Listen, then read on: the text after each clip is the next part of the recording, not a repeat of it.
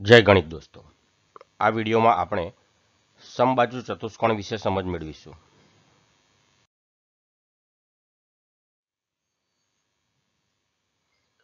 સમબાજુ ચતુષ્કોણ.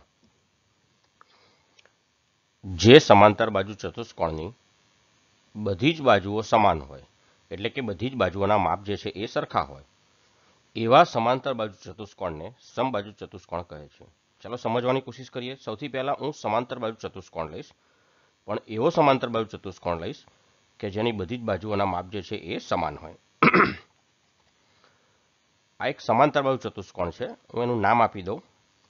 એ B C અને D આ સમાંતર બાજુ ચતુષ્કોણ એબીસીડી છે. હવે આ સમાંતર બાજુ ચતુષ્કોણ હોય, એનો ગુણધર્મ છે કે સમસામેની બાજુઓની જે જોડ જે છે એ સમાંતર થાય. એટલે કે એ સમાંતર સીડી અથવા ડીસી પણ લખી શકાય. એ જ રીતે બીસી સમાંતર એડી અથવા તો એડી સમાંતર બીસી પણ લખી શકાય. એટલે અહીં લખું એડી સમાંતર, આ એડી સમાંતર બીસી આ સમાંતર બાજુ ચતુષ્કોણ છે. હવે એની અંદર એવું છે કે બધી જ બાજુઓના માપ જે છે સમાન છે. એટલે માની લો કે હું આ ડીસી બાજુનું માપ જે છે એ દસ સેન્ટીમીટરની લીધેલું છે. આ ડી થી સી તમે જોઈ શકો છો દસ સેન્ટીમીટર. તો એની સામેની બાજુ એ બી જે છે, એનું માપ પણ તમે જોઈ શકો છો, દસ સેન્ટીમીટર છે.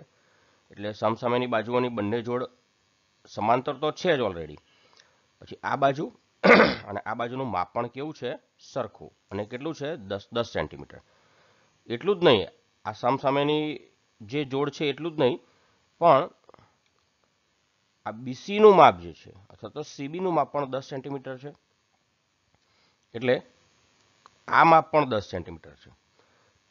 એટલે કે ચારેય બાજુઓના માપ જે છે એ સરખા છે, દસ સેન્ટીમીટર છે. આમ, આ સમાંતર બાજુ ચતુષ્કોણની બધી બાજુઓના માપ જે છે એ સરખા છે. હવે માપ જ્યારે સરખા હોય, ત્યારે આપણે ભૂમિતિની અંદર શું કરીએ છીએ? એક સરખા નિશાન કરીએ છીએ. કેવા? ચાલો આપણે અહીં પણ કરીએ. જો આ નિશાન એવું બતાવે છે કે એબીનું જેટલું માપ છે, એટલું જ માપ બીસીનું છે, એટલું જ માપ સીડીનું છે અને એટલું જ માપ એડીનું છે, અથવા તો ડીએનું છે. આમ આ સમાંતર બાજુ ચતુષ્કોણમાં બધી જ બાજુઓના માપ સરખા છે, એટલે હું લખી દઉં.